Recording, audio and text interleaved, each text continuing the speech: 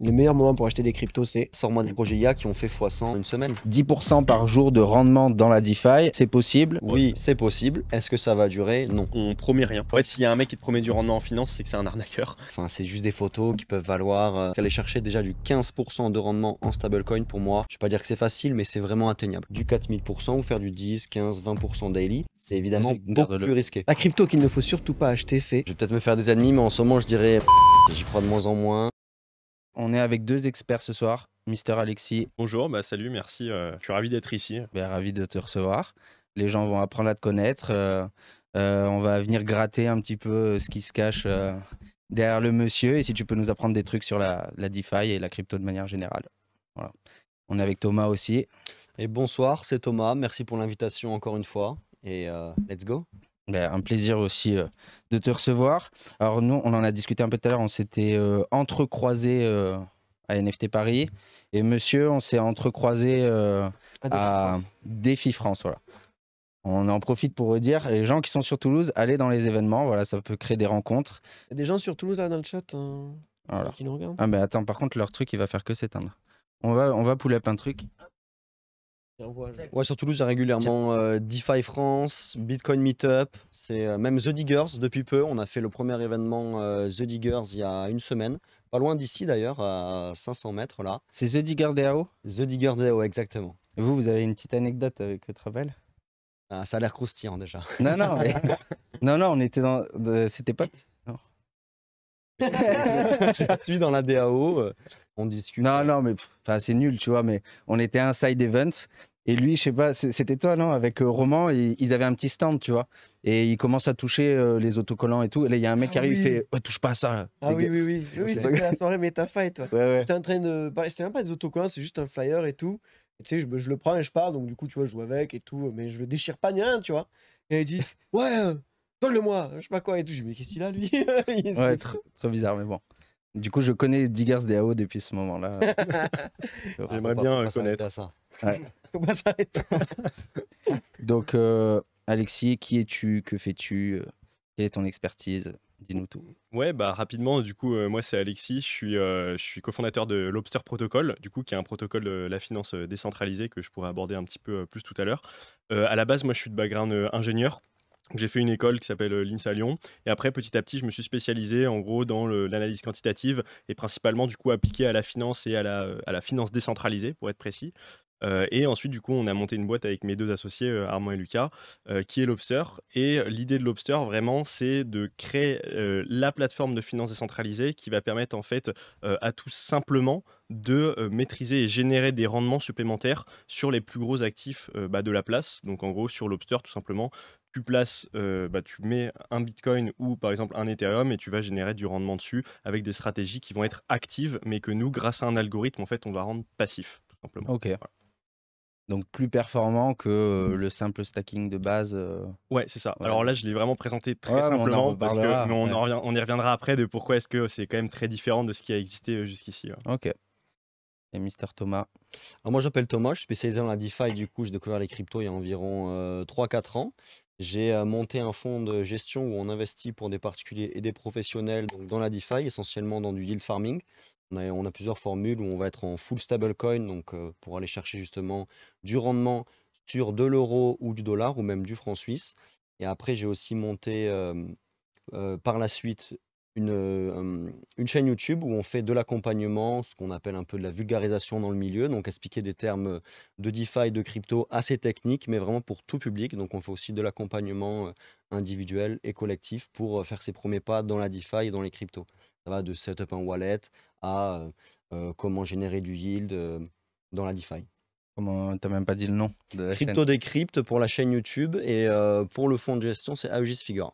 Ok. Le gros reveal de Ouais, là, du nom de la chaîne. c'est moi, Crypto Decrypt. euh. c'est moi. Euh, Est-ce que vous pouvez me donner une définition de, de DeFi euh, Par exemple, votre mère, elle vous demande c'est quoi la DeFi euh, Qu'est-ce que tu fais Je pense que je lui réponds pas. Ouais. Non, je rigole. non, euh, pff, non, mais c'est ok. C'est comment Peut-être que du coup, euh, toi qui es formateur, tu vas pouvoir euh, le, le dire d'une façon meilleure. Mais pour moi, la DeFi, euh, c'est vraiment les réplicas des mécanismes financiers traditionnels appliqués a des mécanismes automatiques sur la blockchain. Donc en fait, euh, là où tu dois aller voir un banquier pour euh, acheter des, options, euh, faire euh, échanger tes euros contre tes dollars, euh, faire plein de trucs comme ça, bah, demain tu le feras sans intermédiaire de confiance et c'est vraiment ça qui est important. euh. donc c'est tous ces mécanismes financiers que sont le prêt-emprunt, les échanges, etc. Et pas que, hein, il y a les options d'achat les trucs, vraiment tu peux aller deep, deep, deep dans le truc. Et tout ça c'est décentralisé, tu n'as plus besoin de, de ces tiers. C'est ça, voilà, ce qui est beau avec la finance centralisée, c'est qu'on va justement, comme il disait, utiliser des outils de la finance traditionnelle, mais ouverts à tous. On n'a pas forcément besoin euh, de donner son nom, son prénom, faire plein de démarches, ouvrir des comptes. Là, en deux clics, avec une simple extension Google, on va pouvoir investir et aller toucher du rendement, qui peut être bien plus intéressant que ce qu'on trouve dans la finance traditionnelle. Je, pense qu'il y a un, dernier truc aussi qui est, quand même assez impactant. Euh, moi, quand, on me l'a dit, je me suis dit, mais c'est vrai, ça, ils ont, raison.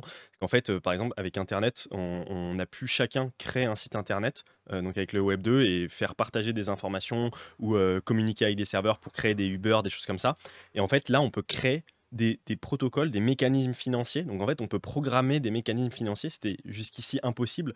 Et en disant ça, en fait, on voit vraiment la révolution euh, qui est euh, la blockchain avec les smart contracts et tout ça. quoi. Donc les banques détestent euh, la DeFi?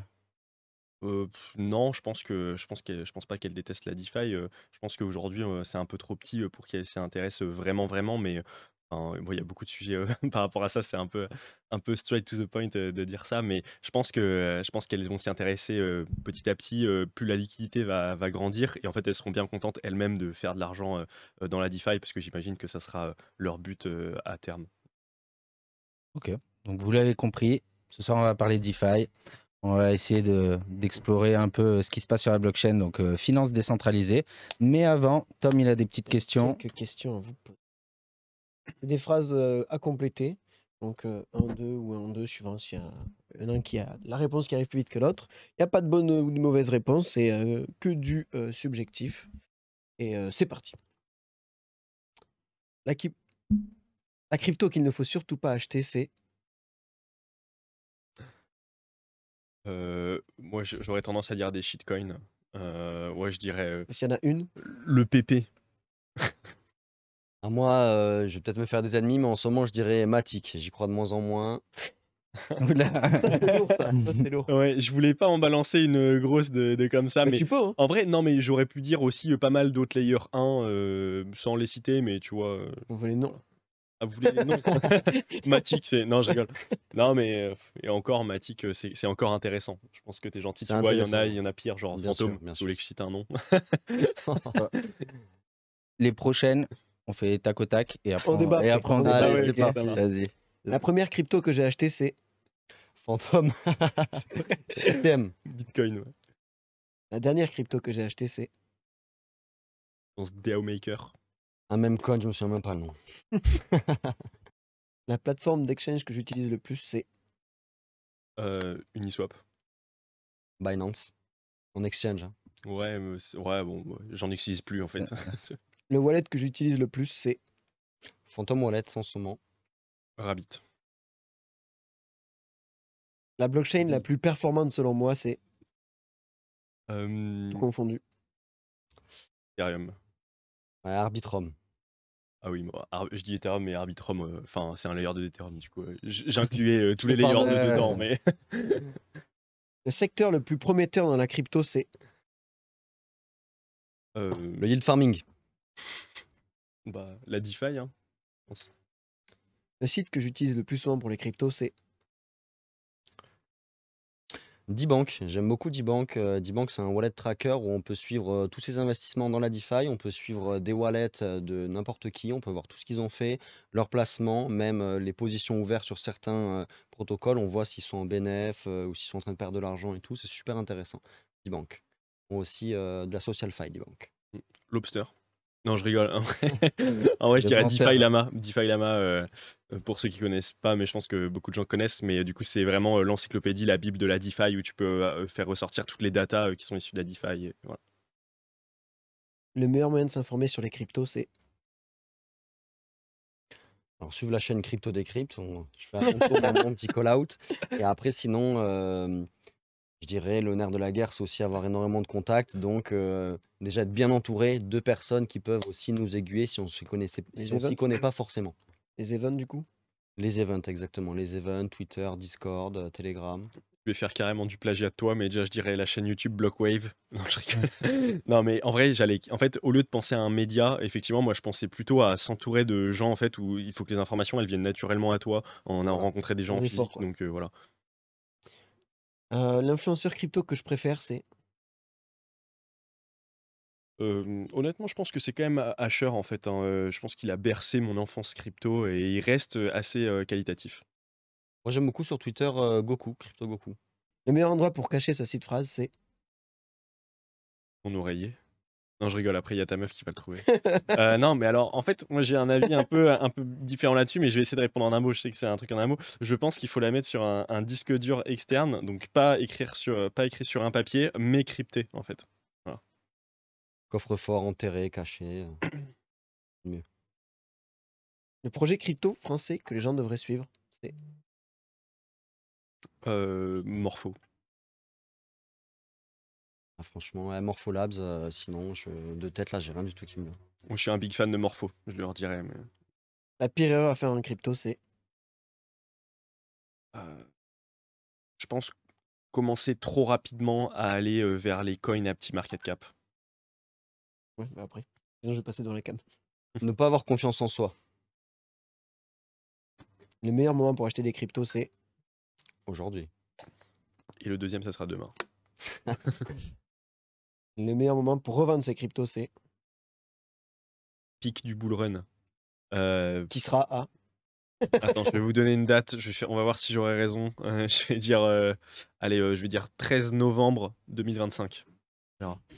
Non, moi, je dirais quand euh, on a atteint les objectifs qu'on s'est fixés avant d'acheter une crypto. Parce que pour moi, avant d'acheter, il faut déjà avoir ses objectifs de vente et quand ça tape, on y va. Ou Même quand ça descend trop, on vend aussi. La réponse est bien plus qualitative. bon, j'aurais dit qu'il faut pas vendre, mais euh, non, je rigole. Mais Selon moi, dans un an, Bitcoin vaudra.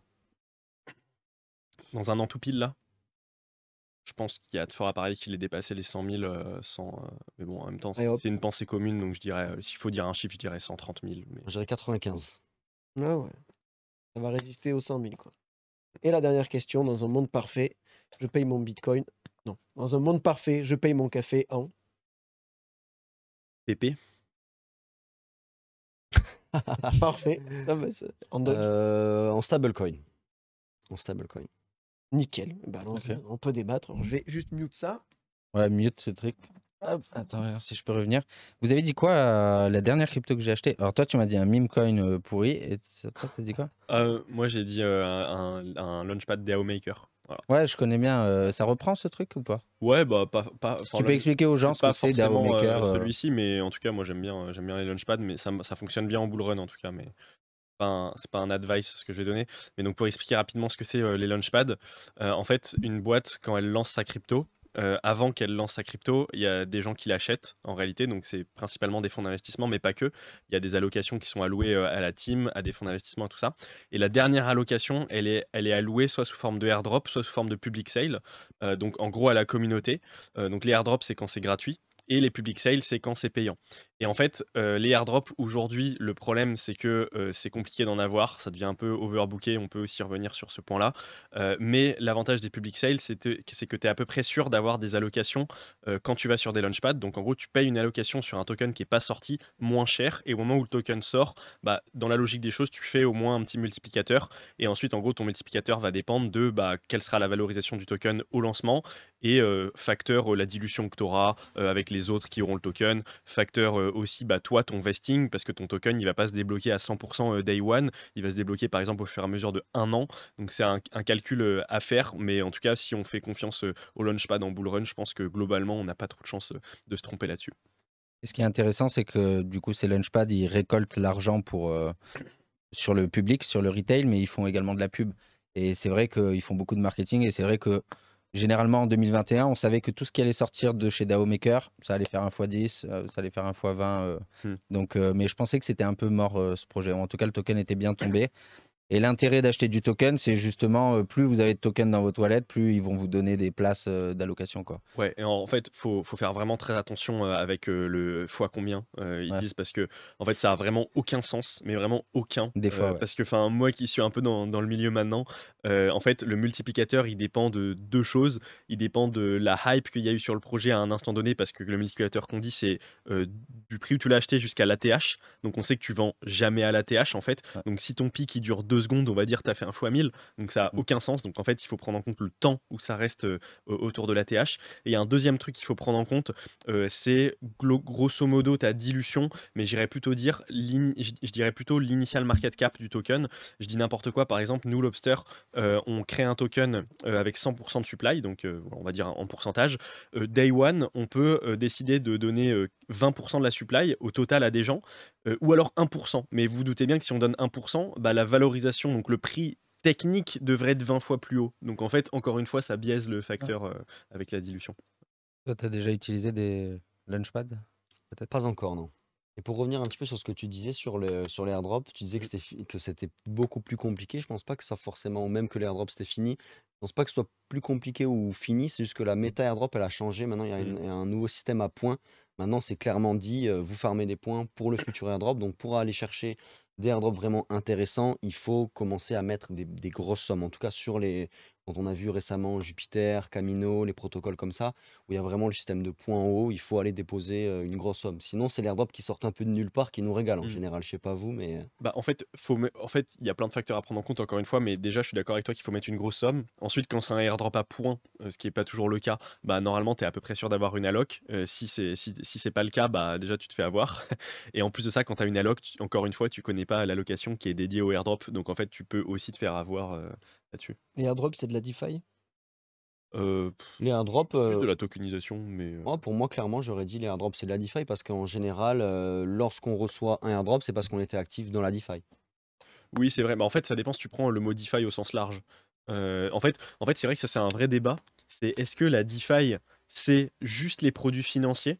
Mais vraiment euh, la technique des produits financiers, je dis par exemple Uniswap, tu vois, qui permet d'échanger de, de l'argent, ou est-ce que la DeFi, c'est par exemple, euh, j'en sais rien, un jeu de GameFi qui va utiliser des poules de liquidité. Donc en fait, en gros, on va dire que c'est un jeu DeFi. Bah oui, c'est un- mais c'est plutôt de la GameFi. Et donc, enfin, oui, tu as fait des transactions avec des smart contracts et du Ouais. coup, tu es éligible à des airdrops, mais est-ce que tu as fait pour autant de la DeFi? Je sais pas. Alors, pour moi, oui. Parce vous que, avez. mais- Ouais, vas-y, vas-y. bah, pour moi, oui, c'est la reste de la DeFi parce que dans tous les cas, tu as fait des, tra- des transactions, même pour un jeu, tu as dû au bout d'un moment payer des TX qui sont, euh, du coup, bah, tu as Mm. donné de l'argent. Donc ça reste un échange financier qui est sur une blockchain, donc c'est de la finance décentralisée. vrai, c'est vrai. Vous avez, C'est large, ouais. vous avez gagné combien sur votre premier airdrop?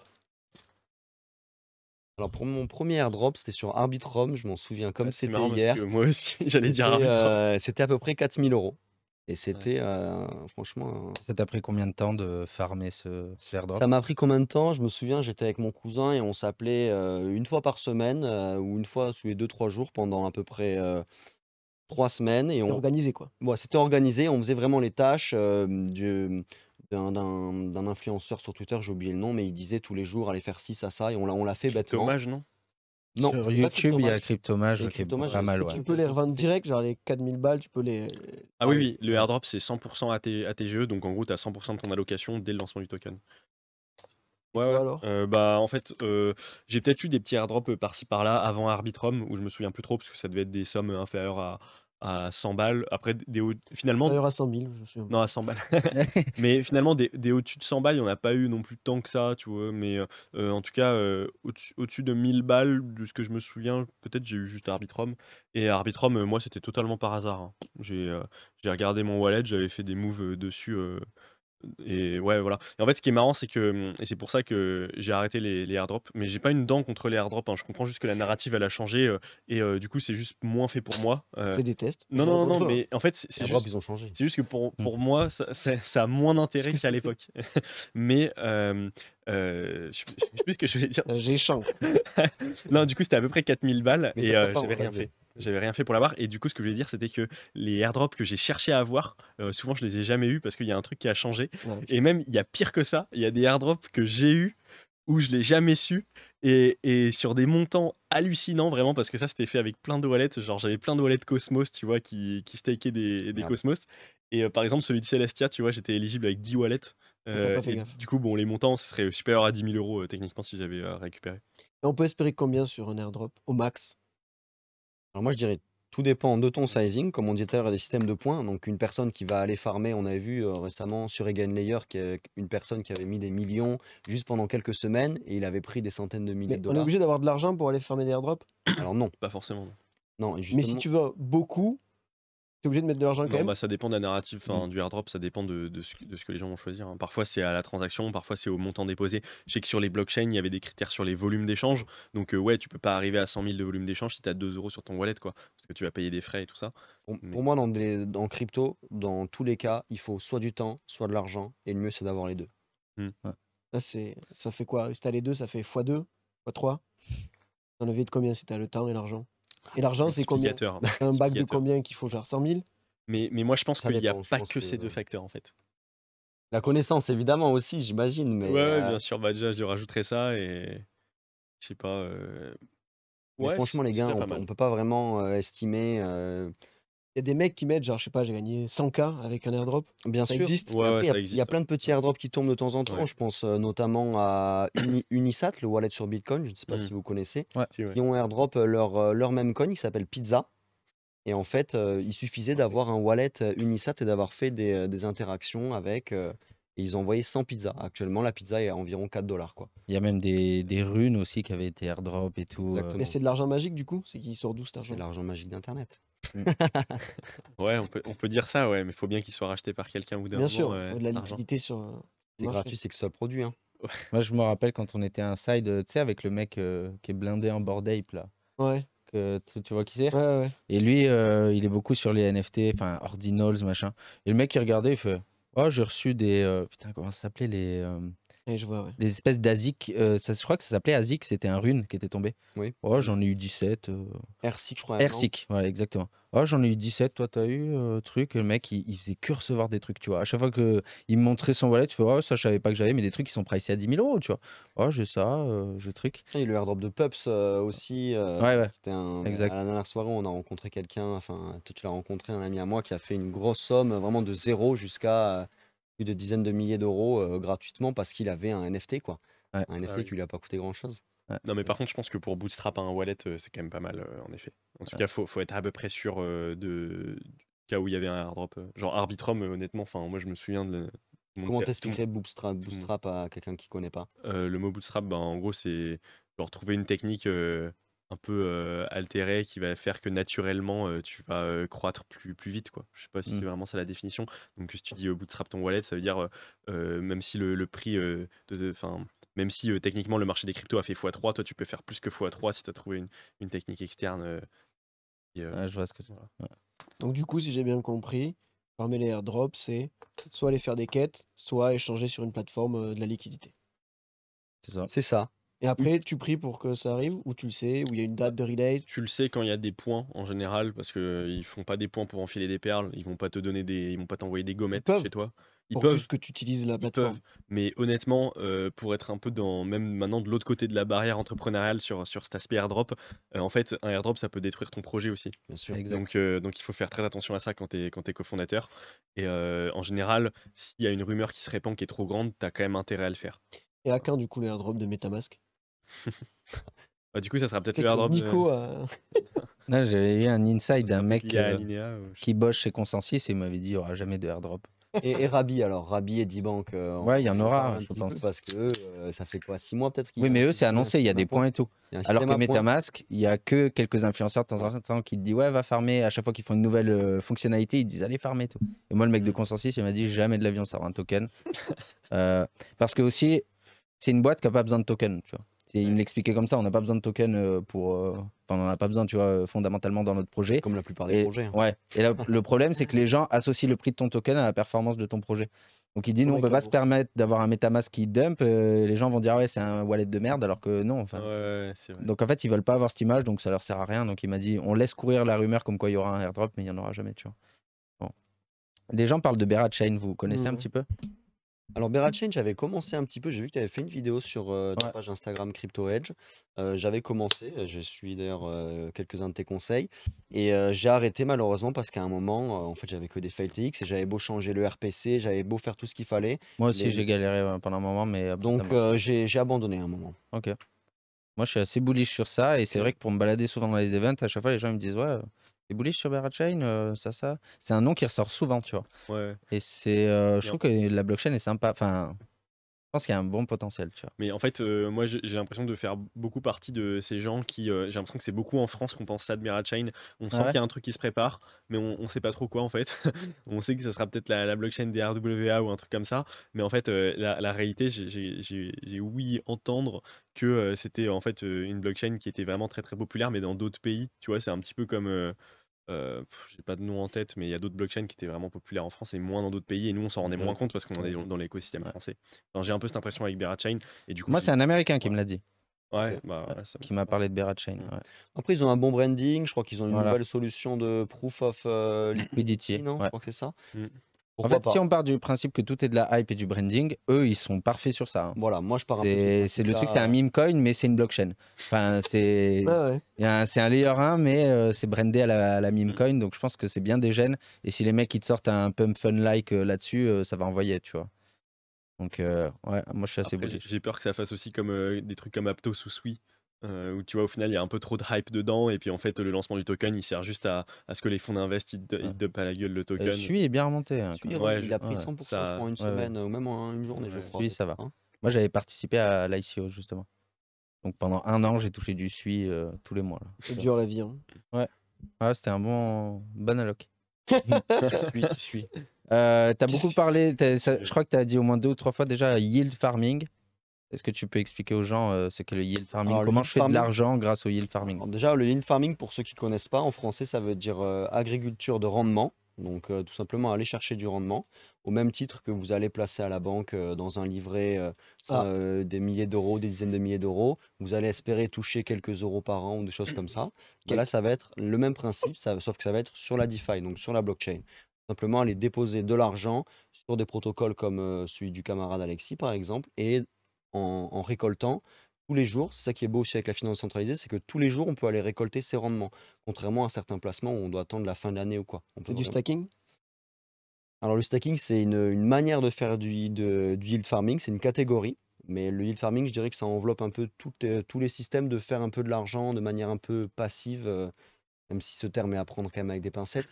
Il sort d'où ce rendement en fait? Alors, le rendement, il va dépendre de plusieurs choses. Comment? Des fermiers. Des fermiers, voilà. Dans le rendement, il va dépendre de plusieurs choses. Il va dépendre, euh, déjà de base, dans le yield farming, à ce qu'on appelle le real yield. Le real yield, ça va être le rendement, du coup, comme on dit en anglais, réel, qui est réel. Donc, par exemple, si on investit sur la plateforme GMX, où on va apporter de la liquidité, donc GMX, c'est un- une plateforme où on peut faire du trading, et ben on va déposer de la liquidité sur On GMX parle pas de GMX. là. pour qu'il y ait des gens, pour qu'il y ait des gens qui, euh, qui, qui puissent faire du trading dessus. Peut-être qu'il y a pareil sur, euh, sur DYDX. Je, je ne sais Non, parce pas. que c'est un order book. euh, Ok. Du coup, c'est plus géré par des pools et tout. C'est Donc mieux. en fait, voilà, là c'est du real yield, c'est du real yield parce que justement, c'est les traders qui vont nous payer. Contrairement au, euh, on va dire le fake yield, mais le yield, ça va être de l'incentive, donc c'est des, inc- des incitations. En général, c'est payé par le protocole ou par en- en la société quoi, qui va nous donner des cryptos en plus de ce que ça rapporte réellement. C'est sur Arbitrum. euh, Sur Arbitrum, GMX. Et j'avais vu, fun fact, euh, tu sais, sur DeFi Lama, tu vois les TVL par, euh, par blockchain. Et je crois que Arbitrum sont la, je dis pas de conneries, la troisième, je crois. Alors qu'on se dirait, bon, bah, il y a du Trône, il y a des trucs. Trône est deuxième, Mhm. et Ether est premier, je crois. Et la troisième, c'est Arbitrum parce que il y a 90%, ça vient de GMX, euh, justement. Hmm. Ils ont beaucoup, beaucoup Ouais, de. TVL euh, sur, euh, sur GMX. ouais. J'étais allé à un événement Arbitrum où enfin il y avait une espèce de petite zone VIP, il y avait les mecs d'Arbitrum et GMX. En fait, maintenant, c'est. grâce à vous qu'on est, qu'on est. Mais je vais, je juste revenir, euh, si je peux rebondir aussi sur le, le staking. En fait, moi, c'est ce que j'aime expliquer aussi à des débutants. euh, c'est qu'en fait, il y a globalement trois grands pans dans la finance décentralisée. Et après, en fait, les autres pans sont principalement des dérivés euh, de ces pans-là. Et du coup, je vais les citer. Il y a le staking, où le rendement, il provient principalement des frais de transaction et d'inflation euh, d'une monnaie. Et donc, tu gagnes de l'argent par la sécurité de la blockchain. Premier point. Deuxième point, tu as le marché du pré-emprunt euh, qui va être défini du coup par les protocoles de lending. Donc là, ça c'est vraiment le deuxième pan. Et troisième pan, ça va être tout ce qui est échange de liquidité, donc soit par des carnets d'ordre, soit par des poules, soit par machin. Et en fait, tous les dérivés que tu vois, c'est souvent des combinaisons de plusieurs. Genre même les options, c'est des combinaisons des, des liquidités qui sont déplacées. Euh, le leverage quelque chose, c'est des combinaisons entre le pré-emprunt et par exemple des poules, c'est le leverage farming. Et du yield farming, ça, ça peut vouloir dire plusieurs choses. Ça peut vouloir dire euh, essayer d'aller à l'endroit où il y a le meilleur rendement. Ça peut essayer de, enfin, voilà, ça peut vouloir dire plusieurs choses, mais globalement, c'est faire du rendement avec autre chose, pour moi en tout cas, mais avec autre chose que du staking qui lui euh, est plus euh, vraiment juste euh, pour sécuriser la blockchain. C'est quoi le plus sécurisé du coup? Euh, entre, les, entre les trois grands pans, on va dire. Euh, Le moins risqué, on Honnêtement, le, moins risqué, bah, Ouais. tout le monde le sait, c'est le staking. hein. En fait, euh, le staking, ça, ça existe depuis euh, les blockchains proof of stake. Euh, t'as- sauf, euh, sauf si enfin, c'est compliqué de se faire scam sur du staking, on va dire. C'est c'est un rendement qui est assez sûr, quoi. C'est vrai que la blockchain se casse la gueule quoi. C'est le seul Ouais, danger qu'il y a quoi. Ouais, Ou tout globalement. t'as d'autres enfin mis à part le piratage et tout ça Ouais, évidemment. Mais... Il y a- bah, y a pas- Voilà tout. En fait, il n'y a pas de risque systémique euh, et il n'y a pas non plus de couche supplémentaire que sur la blockchain comme il peut y avoir sur la DeFi. Et il n'y a pas de risque systémique, j'en parle aussi parce que c'est un risque qu'on n'en parle, on parle pas beaucoup, mais les risques systémiques, c'est ce qu'il y a eu par exemple sur Terra Luna. Il y a, la blockchain s'est pas arrêtée, il n'y a pas un protocole qui s'est fait hacker, Un UST. UST. Voilà. UST. c'est un risque systémique. Et c'est quoi, du coup, là, tu viens de nous citer plusieurs façons de, de faire de la DeFi, ou en tout cas de faire du rendement sur la DeFi. Ce serait, ce serait lequel où on peut le faire le, le plus de rendement, le plus d'argent sur la DeFi? Alors moi j'ai une réponse qui est assez claire. Je t'en prie, je Euh, suivrai. Pour moi, euh, en fait, faut déjà séparer les vrais rendements des faux rendements. C'est vraiment le premier truc à faire. Donc ça, euh, peut-être, euh, enfin, notre collègue euh, l'a dit un peu tout à l'heure avec les incentives, mais déjà pour moi les incentives c'est du, c'est du flanc.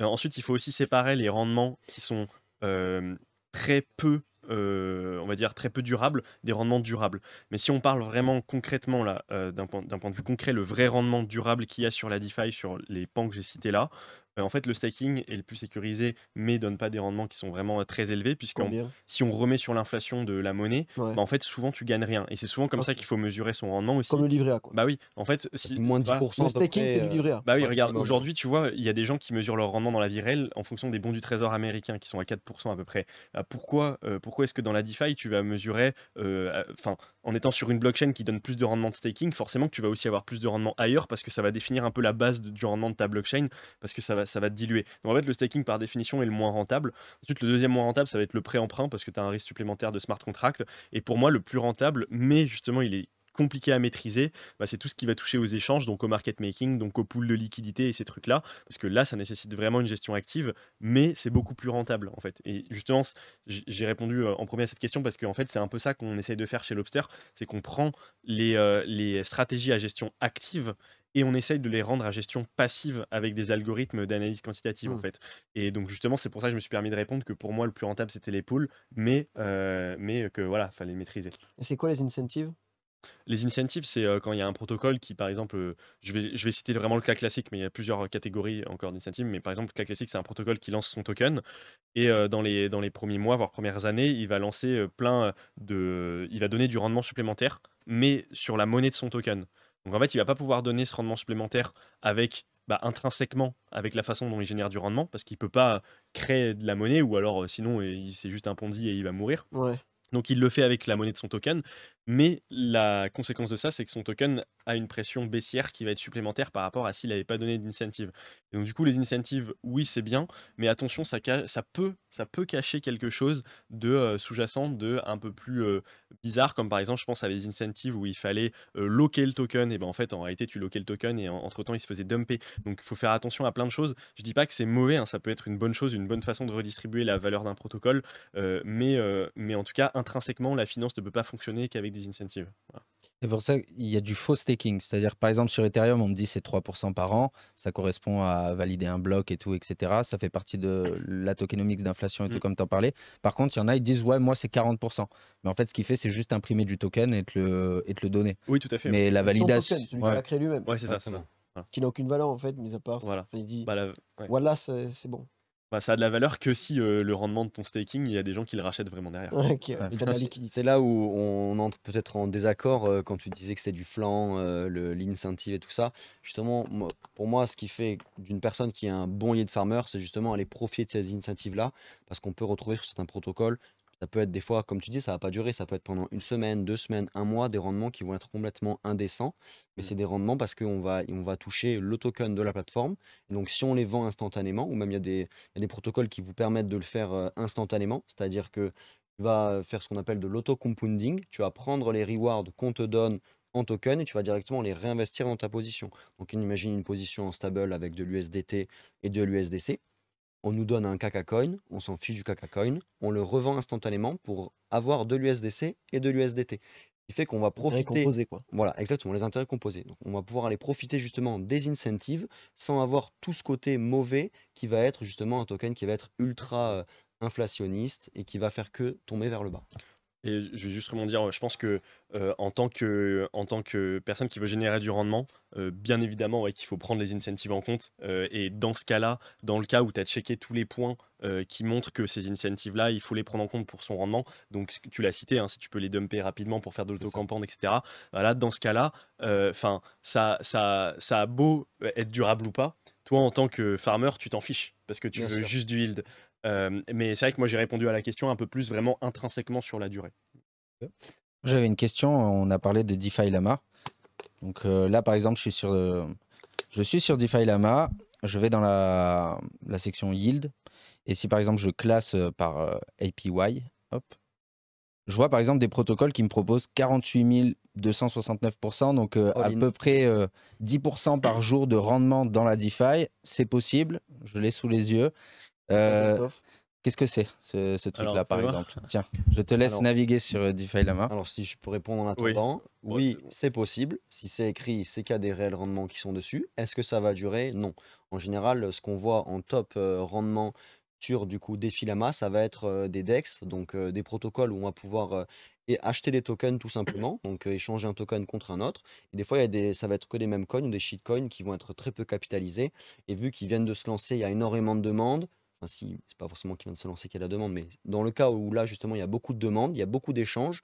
Donc, justement, le fait d'apporter de la liquidité pour les traders qui sont vraiment gourmands sur ce token, ils en veulent plus, plus, plus. Et ben là, en apportant de la liquidité, tu vas pouvoir toucher du 4000% ou faire du 10, 15, 20% daily. Mais c'est évidemment beaucoup plus risqué. Et ça dure, ça dure combien de temps, ça, par exemple? Alors on peut, par exemple, sur, avec de la liquidité concentrée sur, euh, sur des DEX, sur des mêmes coins, aller chercher, euh, je dirais, pendant quelques jours.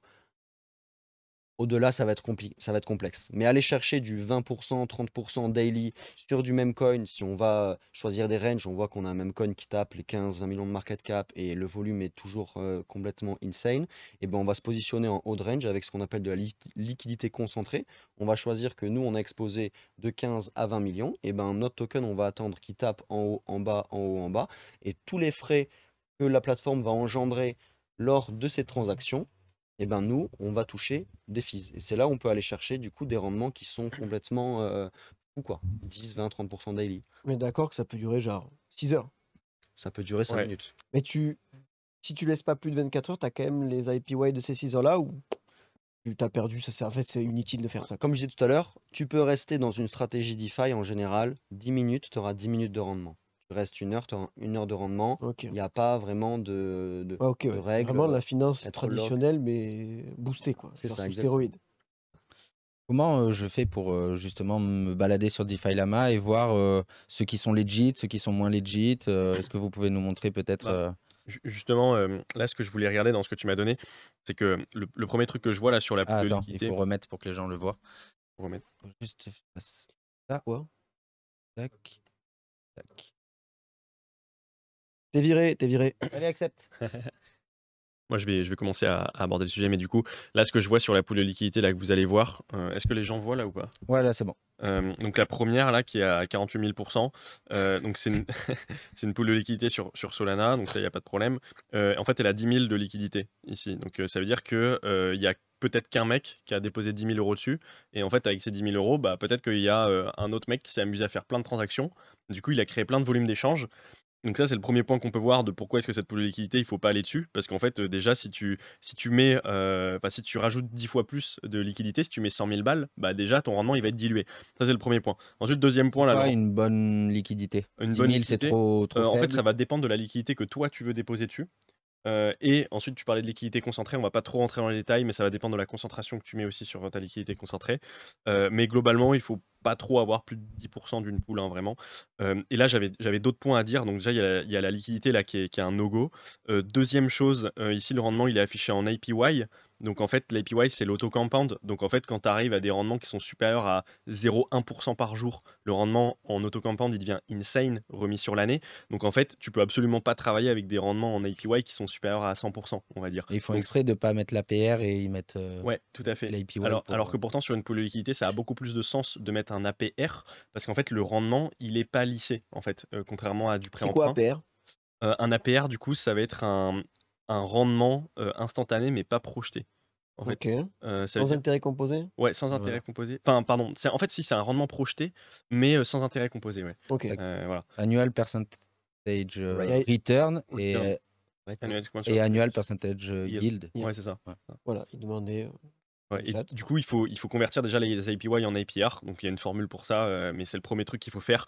Ensuite, une fois que tu as les APR, là, tu regardes ta dilution si tu avais tes sous dans la, dans la TVL et tu regardes combien de rendement tu as. Parce que là, en fait, en rajoutant 10 fois plus de TVL, ça va pas diviser par 10 l'APY. Ça va diviser par 10 l'APR. Mais l'APY, là, il va être divisé par euh, 300 000, par exemple. Tu vois, Ok. en fait.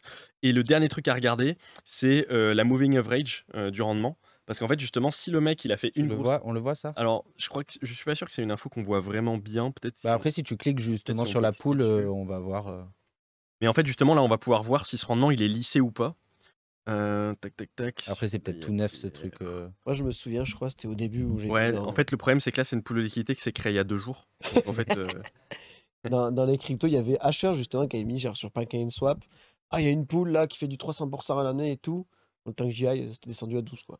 Ouais, c'est ça, exactement. Et ouais. le temps que je mette les trucs dessus, c'était descendu à Non, 5. mais celle-là, elle a marché longtemps. Je sais Ouais. pas si vous en rappelez. C'est la Cake. Ouais, ouais, Cake Ah oui. Auto Compound. C'était les seuls à faire de l'auto compound à l'époque. Cake, euh, tu stackais tes cakes là. Ça, ça faisait pas mal de blé. hein. C'est vrai qu'il y en a pas mal qui ont fait du blé sur cake. Bah, c'était, euh, je crois, c'était 40-50% des, des APR. Et du coup, en APY, c'était beaucoup plus intéressant avec l'auto-compound. Mm. Vous avez mis le chat Ok. Mais pas Cool. forcément parce que je, le token cake justement a explosé. Donc Ouais. là c'est un des rares cas où il fallait garder son cake. Exactement. Pas le revendre. C'est le jeu. Tu peux choisir quand tu fais euh, du Toujours. yield Ok. En Genre, fait, il y a- en fait, moi, j'ai une stratégie euh, là-dessus. C'est qu'en fait, je vais, je vais peut-être me. Enfin, les gens qui lancent des projets et tout vont peut-être euh, me pas être contents, mais moi, en tant que yield farmer, je fais comme toi. En fait, je dump le token directement. Parce qu'en fait, même si Cake, tu savais pas s'il allait monter ou descendre, la meilleure stratégie à avoir, c'était quand même de le dump. Parce qu'au moins, en le dumpant, tu pouvais mettre ta liquidité sur un autre projet qui, lui, allait euh, monter, on va dire, avec une plus grande Ou probabilité. garder comme un moonbag. Genre Solana quoi. Garder une exemple, par part, quoi. Donc en fait, le, le plus safe, ce serait de, si on veut pratiquer euh, le yield farming, ce serait de mettre dans des jetons dans lesquels on a confiance et on sait qu'ils vont performer. euh, En fait, la base, dis-moi si, dis si, euh, si tu as un autre avis, mais pour moi, la base, C'est de pas faire- dis-moi si je me trompe, c'est dis-moi si tu as un autre avis. Ouais. non, mais c'est parce que c'est c'est subjectif. hein. Mais je pense que la base euh, de la DeFi pour faire un bon rendement, c'est euh, d'être sur un token, de faire ton rendement sur un token qui n'est pas complètement dégène. Et même si le rendement est dégène, bah, là c'est nickel, c'est que à ton avantage. Mais en fait, si tu essaies de faire un rendement dégène avec un token dégène, en fait, tu as beaucoup plus de chances de perdre ton argent. Il, vaut mieux en fait un rendement plus safe, mais avec un token plus safe. Et éventuellement, le yield supplémentaire, là tu le mets sur du dégène, mais comme ça au moins tu perds pas ce que tu as mis de base. Moi, je, moi je pense que un rendement sur des grosses cryptos, sur des blue chips comme on dit, sur Bitcoin Ethereum et ensuite tu chopes ton rendement et là éventuellement tu le dumps et là tu vas sur des shitcoins et tout, bah, c'est une stratégie sur laquelle globalement tu es, quasiment sûr de pas être perdant en fait euh, parce que tu, tu vas pas à un moment donné perdre tes, blue chip tokens en fait. Donc, bien sûr, les deux sont possibles, mais euh, du coup, tu dis c'est le mieux machin. Ça dépend toujours euh, ton quel, investisseur tu es. Il y a des gens, ils préfèrent aller chercher beaucoup plus de risques. Et on peut, sur des pools de liquidité, avec des tokens un peu des mêmes coins ou, de la dégénérie, poser 2-3 sols ou euh, 300 dollars et se réveiller le lendemain et avoir farmé 30 dollars dans la nuit. C'est des choses qui sont possibles, mais il faut évidemment connaître les risques. Comme tu disais tout à l'heure très bien, il faut avoir les règles du jeu en main. Et une fois qu'on a toutes les règles du jeu, on choisit. On est agressif, on est plutôt investisseur, comme on dit, bon père de famille, mais il faut connaître les règles du jeu, c'est le principal. Je pense que c'est bien de faire du safe avec une. Enfin, moi, c'est ce que je fais avec une grosse partie de mon wallet et une petite partie qui, qui est là pour faire de la dégénérie et justement aller tester tous ces trucs-là. quoi. Ouais. Une strat. sais pas si vous avez connu euh, l'époque euh, fork OHM. Ah si. Ouais, c'était, ils vendaient ça comme, euh, comme, euh, bah c'est des, c'est des protocoles qui sont toujours sur DeFi Lama, qui s'appellent des protocoles de reserve currency, Ah ouais? Et ils appelaient ça la DeFi 2.0 quand c'est sorti. Ouais. Et du coup, moi, ça m'a hyper intrigué parce qu'à ce moment-là, je m'intéressais déjà énormément à la DeFi et je me suis dit, mais attends, il y a des mecs qui ont créé un truc 2.0, faut vraiment que je m'y intéresse. et après, c'est devenu les reserve currency euh, protocoles, et puis c'est devenu un type de protocole, bon, qui euh, a vécu des, par définition, par nature, on peut expliquer pourquoi ça fonctionne comme ça, mais qui par nature a vécu des gros pump and dump, mais en fait, il y a quand même peut-être quelque chose d'intéressant derrière. Il y avait, euh, moi, enfin moi je m'en rappelle, t'avais, euh, tu pouvais venir chercher 150 000 milliards de pourcents euh, dans la journée. Là, t'allais sur un truc, enfin les, tu sais, les APY, t'avais des nombres qui étaient comme ça. Des Et- mauvais Ponzi. hein. Ouais, ouais, des ça marche bons quand la réserve est en hausse, en fait. Il y avait Snow, Sn- il y avait Snow, il y avait, enfin c'était sur Avax beaucoup euh, les trucs Ouais. comme ça et tout. Non, après, il y avait des forks sur. euh, C'est juste sur Avax, il y a eu le deuxième fork euh, qui était euh, Wonderland, un truc comme ouais, ça. voilà. Mais euh, et, il y avait Time aussi. il y avait- Exactement, mais Time c'était sur euh, je sais plus quelle blockchain, mais euh, ouais, il y en avait. Après, il y en a eu une, une chier, mais Mais ça, pour- par contre, les mecs qui arrivaient premiers, ils faisaient vraiment de l'oseille. hein. oui, bah, c'est pour ça que ça s'assimile à un Ponzi. Ouais. Le fork de tombe. Non mais du gros oseille, tu vois. À la à la même époque que Stephen où tu faisais de Mm. l'oseille genre gratos quoi. Enfin, Et, et alors, on peut faire combien à l'année euh, en faisant de la défi? La moyenne. Bah, en fait, encore une fois, mais c'est vrai que tu l'as justement dit, hein, c'est que euh, en fait, En on peut vraiment tout faire. Euh, on peut vraiment tout faire et ça va dépendre du token en fait. Et pour moi, le but du jeu, ça va être d'avoir un bon rendement par rapport à la sécurité du token sur lequel tu es. Donc tu peux avoir un rendement complètement dégène, mais il faut prendre en compte principalement deux choses. Je l'ai déjà dit, le token sur lequel tu es pour pas euh, te le faire dumper à la gueule.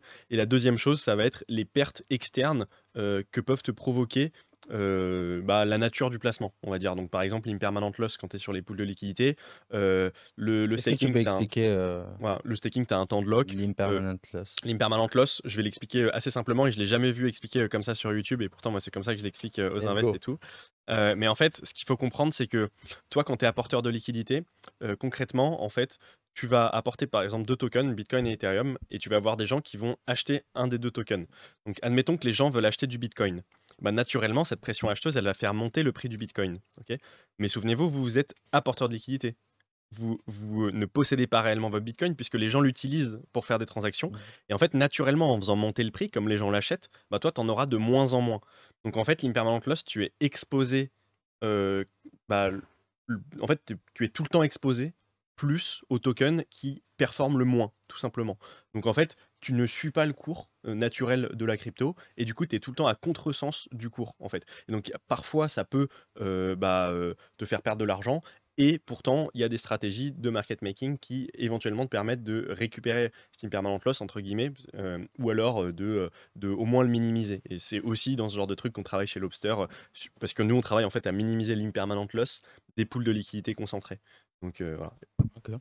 Il est peut-être un peu haut ton micro, tu peux le baisser un Ouais. petit peu. Mais du coup, s'il y a une fourchette, c'est quoi? C'est du 200%, 300%, 1000% Alors pour une Pour fourchette, que euh, les gens puissent s'imaginer. quoi. pour que les gens Ouais. puissent s'imaginer, euh, sur des rendements en DeFi euh, assez safe, et si, si vous vous y connaissez un petit peu, vous allez pouvoir aller chercher du 15-20% par an sur du stablecoin si vous allez profiter de l'incentive, comme on disait auparavant, ou sur des protocoles un peu nouveaux, mais tout en manageant bien votre risque, aller chercher déjà du 15% de rendement en stablecoin, pour moi, on va dire que c'est facile, mais c'est vraiment atteignable. En stablecoin? En stablecoin, Ouais. Donc, on peut faire de la défi juste avec du stable. euh. bien sûr. 15, c'est atteignable. Ça, me- ça me paraît déjà beaucoup, mais c'est atteignable en effet. C'est beaucoup, mais, Mais, c'est- atteignable. Il, voilà, il y a un dernier facteur aussi à prendre en compte, hein, c'est la liquidité que tu as. faire du 15% avec un million d'euros, c'est plus Voilà. compliqué que faire 15% avec 10 000 euros. quoi. Bien sûr, exactement. Parce que là, tu as, 100 balles. Avec 100 balles, tu vas sur la poule de dégène qu'on a vu juste avant.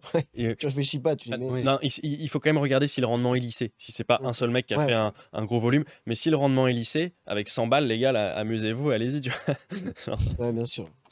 Et du coup, euh, et, euh, comment on pourrait dire? Est-ce que tu trouves que c'est plus risqué euh, d'investir dans la DeFi, de faire 15% sur du stablecoin ou simplement mettre par exemple sur du SP500 On sait que c'est à peu près 10% par an. Ce serait quoi le plus risqué? Moi, je parle de mon domaine. Je connais pas encore très bien la finance traditionnelle, mais je ne pense pas qu'on puisse retrouver ce genre de rendement en finance traditionnelle.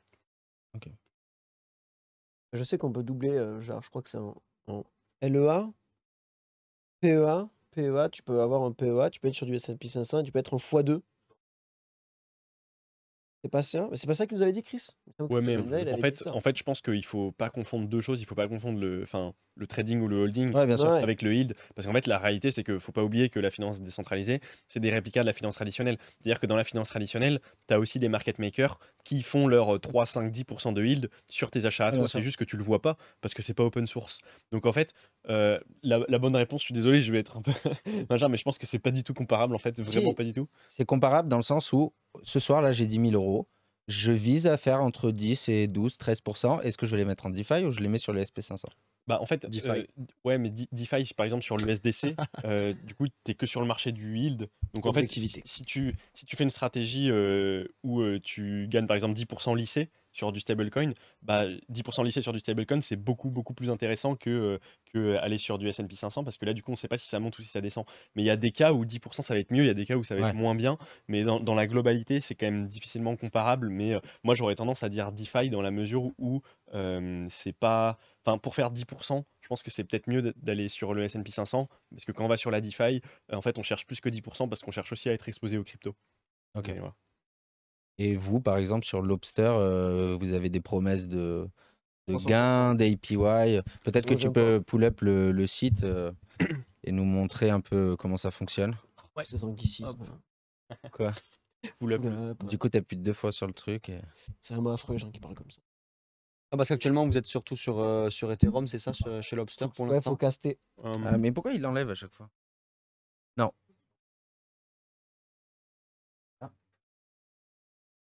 MacBook Pro de- de- du régisseur. Allez, acceptez-nous ça.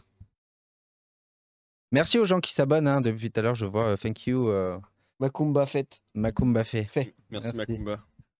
Euh, moi, je vais faire un petit tour sur le site. Mais alors, déjà, pour commencer, euh, on promet rien. C'est la base de toute la finance, Bah, que ce super. soit décentralisé ou centralisé. Non, mais il n'y a, il y a jamais de, de promesse de rendement, en fait. Bien sûr. En fait, ouais. il y a un mec qui te promet du rendement en finance, c'est que c'est un arnaqueur. Genre, euh, c'est pour Comme commencer toujours. par, par là.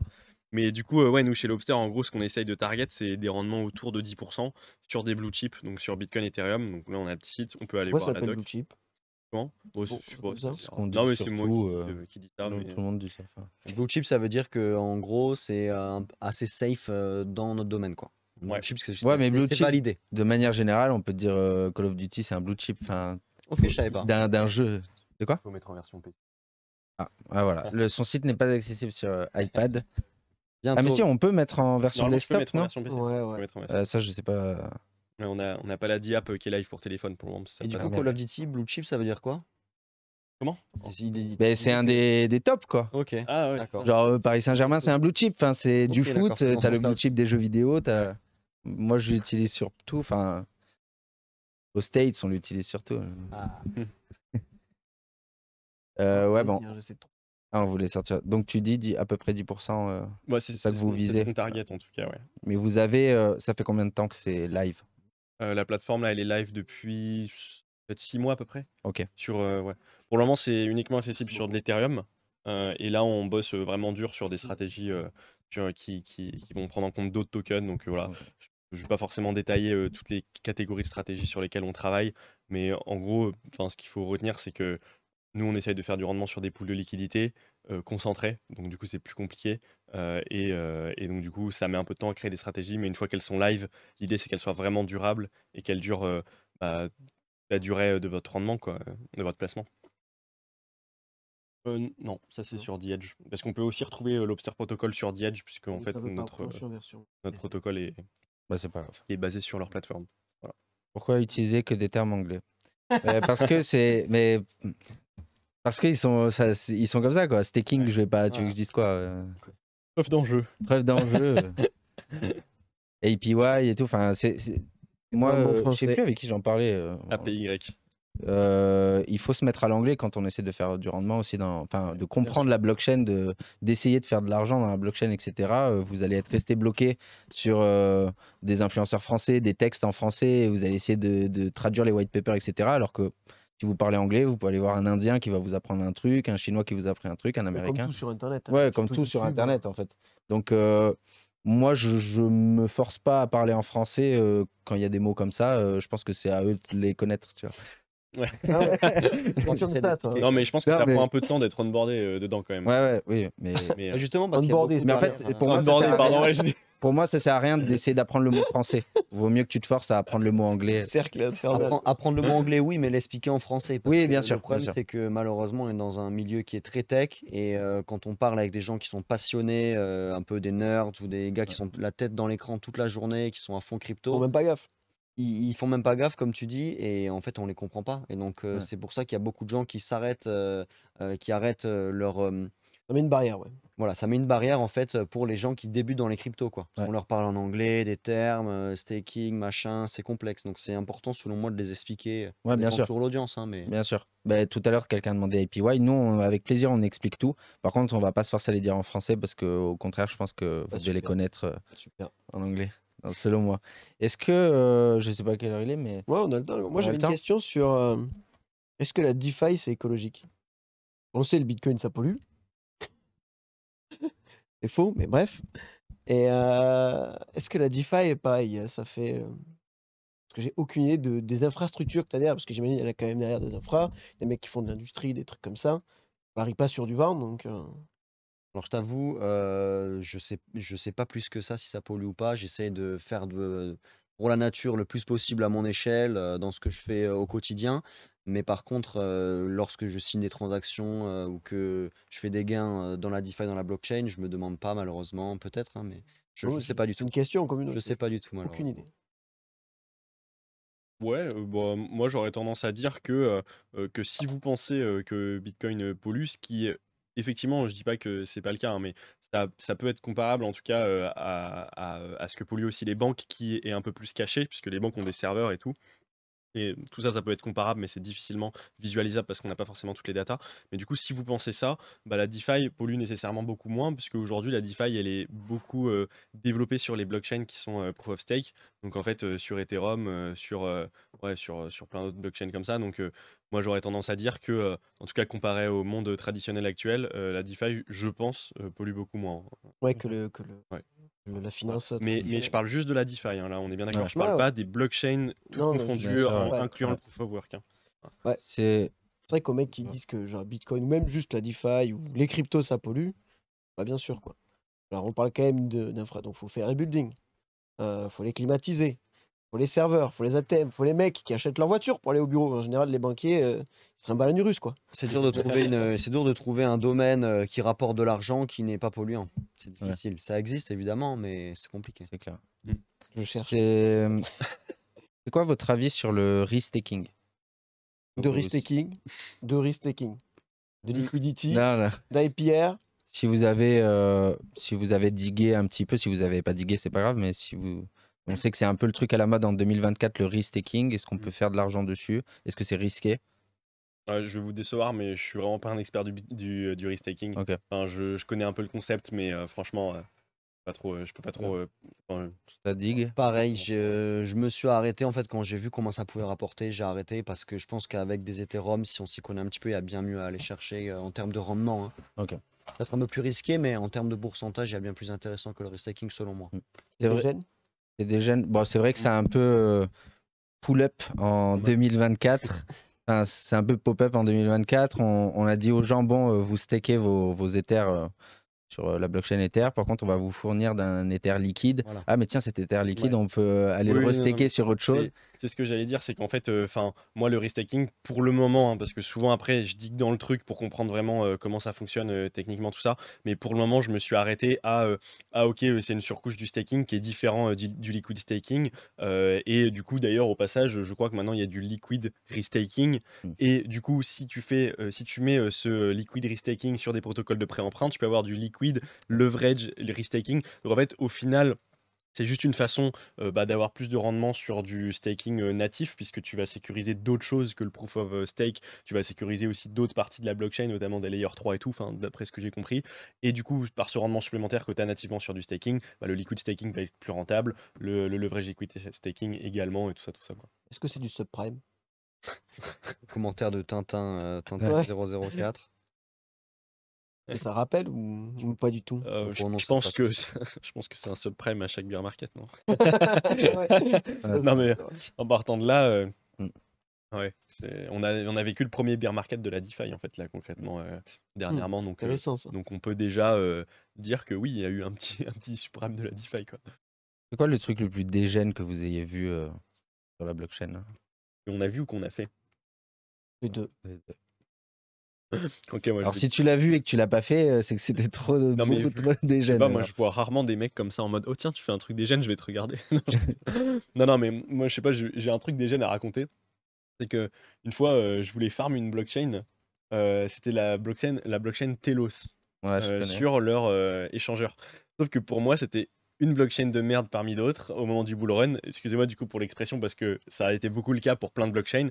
Il se trouve que j'y crois encore. euh, Telos, ils sont présents à plein d'événements, etc. Mais en arrivant sur leur blockchain, en fait, j'ai énormément farm le DEX. Et du coup, là, pour le coup, j'ai fait euh, bah, la stratégie, évidemment, quand on veut faire du rendement, de dumper un token que tu farmes. Et quand je suis reparti de la blockchain, il y avait un manque de liquidité.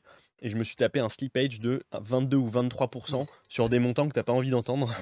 Et Tu peux expliquer aux gens ce que c'est le slippage Ok, donc en gros, ouais, pardon. Du coup, en gros, euh, quand je- en fait, quand tu mets ta liquidité, donc tes bitcoins et tes ethereum sur une blockchain, euh, et ben ta liquidité, elle arrive, elle passe d'un endroit à un autre, tu vois, d'un pont à l'autre. Et en fait, tu vas payer des petits frais euh, ou non, d'ailleurs, pas forcément, euh, pour euh, arriver sur cette blockchain. Si cette blockchain manque de liquidité, euh, bah, tu peux payer plus de frais ou moins de frais en passant d'un côté ou de l'autre. Et moi, il se trouve qu'au moment où, donc, quand je suis rentré, il n'y avait pas de problème. hein, ça, souvent, c'est souvent comme ça. hein, c'est souvent quand tu retires que tu te fais avoir. Mais du coup, quand j'aurais dû faire l'avant et après avec, avec euh, 100 balles avant de le faire avec ce que, ce que j'ai fait. Et du coup, j'ai j'ai regardé ça et au moment du retrait, il y avait un manque de liquidité sur ce sens-là. Et du coup, j'ai eu une perte due au manque de liquidité, donc aux frais d'échange. Non, c'est pas vraiment les frais d'échange, c'est plus la différence de prix entre la blockchain et la, pardon, la blockchain Ethereum. Et du coup, cette différence était de 23%. Euh, Ouais. C'est comme si t'achetais un bitcoin, tu le revendais puis t'en rachetais un, et en fait, t'avais 23% de moins. C'est exactement la même chose. Et alors, heureusement, avec ce que j'avais fermé, j'ai pas perdu d'argent, mais euh, je me suis dit que j'étais quand même. Enfin, en final, j'ai pas gagné non plus. hein, donc, je me suis dit que j'étais bien con de l'avoir fait parce que tu prends des risques supplémentaires et tout ça. Moi, je dirais les plus, euh, la chose la plus dégène euh, que j'ai vue, c'est dans les NFT. En fait, moi, je, je connaissais pas du tout les NFT, enfin, je connaissais de loin, mais j'ai vraiment commencé à dig un petit peu, à acheter des NFT il y a environ euh, six mois. Et en fait, euh, il y a des. Enfin, ce qui, se passe, c'est juste n'importe quoi. hein. Dinguerie. Les JPEG, euh, enfin, c'est juste des photos qui peuvent valoir. euh, Enfin, pour certains cas, c'est juste des photos. Il y a même il y a des NFT qui sont très intéressants, qui servent à des choses. Mais euh, en fait, les, les gains sont juste euh, faramineux, quoi. C'est Ça peut. Ça peut. C'est quoi C'est euh, le petit jeu ou un Je sais pas, on va regarder. On a fait un petit jeu où, euh, Un petit jeu. on- comme ça, ça nous permettra de partir sur ces sujets-là. On a mis plusieurs. euh, vous avez parlé de GameFi, de SocialFi, de staking, restaking. narratif. Donc on a listé euh, plusieurs narratifs qui sont en train d'apparaître. Hop. Et euh, bah, on aimerait bien que vous les placiez euh, en numéro Ok, 1, c'est le meilleur, euh, le 7, c'est le plus nul. Pour ce bull run, euh, qu'est-ce qui est le plus, euh, le plus intéressant selon vous euh, pour faire de l'argent dans la crypto en 2024 Donc, c'est pas ce qu'on préfère, c'est c'est- c'est pas. c'est plus pas rentable. ceux- Ceux qu'on pense qui vont être le plus rentable. Là où Ouais. tu mettrais tes billes, quoi. Et vous devez vous mettre d'accord. Pour se mettre d'accord. Alors les gens disent GambleFi, c'est quoi? C'est euh, tu peux en parler parce que. Alors, je peux expliquer la, la GambleFi, euh, c'est tout simplement euh, tout ce qui va être casino en ligne, mais sur la blockchain. Donc, euh, ça peut être, en général, ça va être sur Solana. Les plus connus sur Solana, ça va être Sol Casino. On va pouvoir jouer à la roulette, euh, faire rêve. plein de, plein de blackjack, des choses comme ça, Ça fait rêver. directement on-chain. Et d'ailleurs, ils ont un NFT, et le- on dit souvent que le casino, se- en- sur le casino qui finit par gagner au final, et ben, ils ont des NFT où on touche justement ces gains-là du casino. Quoi- Combien le NFT Le NFT, je crois qu'il est à 13-15 sols à peu près. Ça fait Et ça fait. euh, ça fait euh, 10K non, ça fait Non. euh, à peu près. Il Euh, y a 100 balles le 13 sol. fois euh, 100, K, 150. Je sais pas. Ça 12 fait- 000, 12 000 Non. euros, on va dire. Non, ça va faire 2000 euros, je crois, quelque chose comme ça. Non 12 fois... Ah oui, 12 fois 150, ouais, de, de- entre 1005 et 2000. Voilà, ça va C'est faire pas si 2000 moche. euros à peu près. Ouais, ça va. Et ça rapporte, euh, je crois, environ 40 à 70 dollars par semaine environ. Donc, c'est des, des rendements qui sont intéressants. Mais Et ça c'est en reste- quoi les en sol? Non, c'est en SCS, donc Sol C'est Casino. dans leur Shares. token de merde. Voilà, dans leur token de merde. Mais tu peux euh, les Tu peux le dump, euh, voilà. Donc, euh, Ouais. c'est ça la Super. c'est tout simplement pouvoir euh, jouer au casino en ligne avec ta crypto, complètement décentralisé, sans nom, sans prénom. C'est la dégénérie euh, au plus haut, au plus haut Ouais, point. que les, les gens disent est-ce que c'est illégal en France? C'est la En DeFi. France, tout est euh, illégal en fait. Donc, c'est oui. c'est je illégal. euh, si tu te poses la question, c'est que c'est oui. Non, mais comme tu dis, vu que c'est sur la blockchain, en soi, On te euh, demande pas ton nom, ton prénom, ton âge, ton âge. ta couleur de peau, euh. D'où Ah ouais, ouais, ouais. d'où proviennent les- des Fais conneries. ce que tu veux. d'où proviennent les fonds. Pas un euh, conseil, évidemment. hein. Pied décentralisé. Ouais. Et ce serait pas un gros mixeur du coup aussi? Parce que tu joues Ça peut être utilisé malheureusement, oui, à des fins un petit peu criminelles, je pense, c'est possible. Bon, comme tous les casinos quoi. Du coup, à vous de vous mettre d'accord pour. Alors- alors déjà le, le plus Top, pourri ouais, comme le ça, c'est plus simple. Bon, la DeFi, hein. non, Vraiment de la merde. Alors pour faire de l'argent, euh, pour faire de l'argent, si on part de ce principe-là pour qu'on se mette d'a- d'accord, déjà c'est pour faire de l'argent en ce moment. Ah, en ce moment ou non sur le pro- sur la Sur- prochaine sur le année bull run, sur le bull run. Sur un- Parce qu'on en Là, je veux pas un truc euh, dans une semaine, Non, mais admettons, parce qu'en fait, faut- admettons qu'il y a un bull run d'ici moins d'un an, ce qui euh, est probable, mais on n'en sait rien. On va dire quelle est la première, la narrative la meilleure qu'on pense sur la prochaine année. Ah, voilà. Alors déjà moi je dis DeFi parce que c'est la base de tout. Un 7 Non, On part premier- sur la on part sur la 7 Ouais. On part sur la Comme 7. tu veux, comme vous voulez. Et ben sur la mieux pour 7, TikTok du coup, moi je dirais, je suis désolé, mais euh, risk-taking. Ah euh, non, moi je le mettrais pas en 7 quand même. Euh, Non, mais franchement, euh, Gumblefy ou Memecoin, hein, moi j'ai jamais vu un. Ah. En fait, les Memecoin, les seuls mecs que j'ai vus qui étaient vraiment mis- riches, c'est les mecs qui en ont créé ou qui Même- étaient là au tout début. quoi. Même coin, j'aurais mis dans le top, moi. Ça, ça nous l'a montré, euh, les tokens euh, qui ont le plus performé dans le top 100, euh, qu'on le veuille ou non, Ouais. hein, c'est du PP, c'est du bon. Ouais, ouais, si, si, ouais, c'est c'est vrai. pour moi, Memecoin, non, on est dans les tops. Maîtriser euh, les- les- l'achat de C'est un Memecoin. pouvoir de euh, persuasion énorme. en non, mais quand même pas premier, quand même pas en- en premier. fait, ce qui est beau Mais avec- arrête il de, abuse de monteur. de faire ça, par exemple. ce qui est beau avec Ils le, n'ont pas 17, hein. Enlève. ce qui est beau avec le, le Memecoin, c'est que c'est une, une sorte de data qui va répliquer le- la hype de quelque chose. Donc tu veux pouvoir investir sur une trend Non. ou sur un objet ou sur euh, une hype. En d'accord. fait, ça va représenter le, euh, combien de personnes regardent justement euh, cette chose-là ou s'y intéressent. Donc on met quoi un 7 Alors, attends, on, on va, on va essayer de les prendre un par un. Euh, on, on va se mettre d'accord. Le, le 7, du coup. Toi, tu as dit risk-taking. Euh, Risk-taking, euh, après ça dépend, on va faire de l'argent, ça dépend de ton... bon, ça dépend de beaucoup de choses, mais on va mettre... euh, pff, moi j'aurais mis risk-taking euh, ou IA. Allez, pour, euh, selon moi, les gros tokens IA, ils ont déjà perf. euh, Le... Moi j'ai du mal suis avec tellement pas d'accord. J'adore, ils sont pas d'accord. Ah, les, les gros tokens IA, euh, pff, je sais pas. Moi, je suis d'accord. Non. Mais en fait, je pense que les tokens IA, ils sont, ils sont assez survalorisés. Je suis d'accord, mais en même temps, ils ont une belle correction. Et enfin, la narrative, elle est, euh, elle est quand même IA aujourd'hui. Euh, moi, je le vois quand tu dis que tu as de l'IA dans ton petit deck et tout, tu lèves plus de fonds, tu lèves plus de fonds, tu as forcément une FP Voilà. plus élevée. Donc, tu peux faire, euh, faire de l'argent. quoi.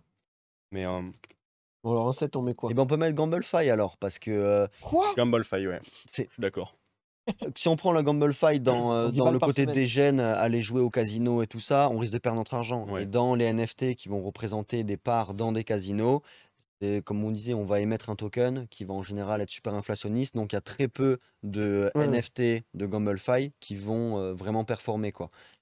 Le, le sol casino, il tient bien, mais la charte, elle n'est pas non plus super jolie. Ça tient bien depuis des mois et des mois, c'est super intéressant. Il y en a, il y en a plein d'autres qui, euh, Mm. qui se sont lancés récemment. euh, je pense notamment à BaseBet, Moonroll, etc. Mais malheureusement, c'est souvent du pump and dump. Donc je mettrais en dernier Gamblefy. Surtout qu'on peut aller perdre notre argent en jouant à la roulette. Moi, moi en, 6, je mettrais euh, peut-être GameFi. Euh, parce qu'en fait, j'ai l'impression qu'il n'y a pas de truc vraiment game changer par rapport au dernier bull run, à part euh, une adoption massive. Mais ça, j'ai envie de dire, c'est comme tous les projets. Au final, euh, si tu remets. Enfin. Je pense que c'est pas la bonne allée, euh, la bonne, euh, le bon bull run là pour la GameFi? bah, Jouer dans le chat pas, aussi. Pour dis- moi, c'est mais- sûr que ça va péter un jour. En tu vois. fait, non, mais, bien sûr, mais en fait, faut, faut, faut nuancer, c'est-à-dire que là, on cherche les trucs qui vont aller au-delà de l'adoption. C'est-à-dire que tu as une, adoption- une adoption de x10, là, on cherche les projets qui vont faire plus que x10, tu vois. Euh, Ouais. Et pour moi, la GameFi, ça, ça, ça ira pas plus vite que l'adoption, en tout cas. Alors pour moi, la GameFi, là où ça peut vraiment exploser, justement, on voit Tintin qui en parle, c'est il parle de, de GameFi sur tonne. Voilà. Ah oui. Donc, Mm. t'as Telegram. Telegram qui est dans le top 5, je crois, des applications les plus téléchargées au monde. On peut avoir euh, directement des jeux crypto sur Telegram. On a d'ailleurs fait une vidéo sur Crypto Decrypt euh, sur la blockchain Telegram, donc n'hésitez pas à aller la voir. Et en fait, sur Telegram, l'adoption peut se faire hyper facilement parce que tout le monde a un Telegram et en deux clics, on peut accéder justement à son wallet et à plein de jeux. Ouais. Donc s'il y a une sorte de petit jeu Ponzi, on va pas se mentir, à la Stepen ou quoi, qui pourrait, pas de quoi sor- tu parles. qui pourrait sortir, un petit Stepen sur Telegram, tout le monde a accès à Telegram, pour moi ça pourrait être un banger. Putain, un petit Stephen Telegram.